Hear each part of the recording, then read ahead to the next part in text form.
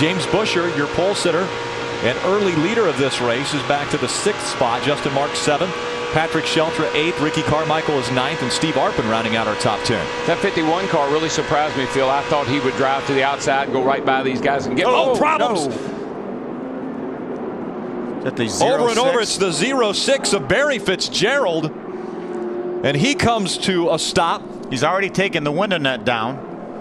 Yeah, that was coming out of turn number two, I believe. Yeah, it is. Uh, you see him moving around in there.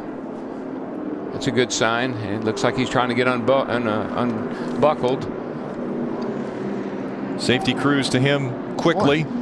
Why are these cars turning over today? Every time you look around, there's a car turning over. And this one was sideways until it got into the grass, and then around it went. Watch top of your screen.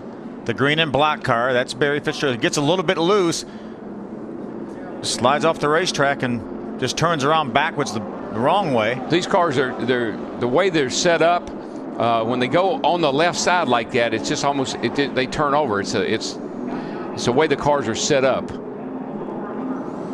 A violent ride for Barry Fitzgerald in that 06.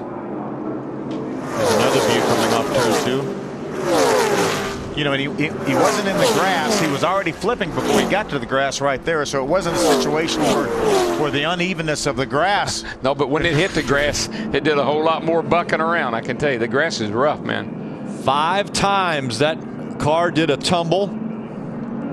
Again, if you're just joining us for NASCAR race day at the bottom of the hour, that will be coming up next.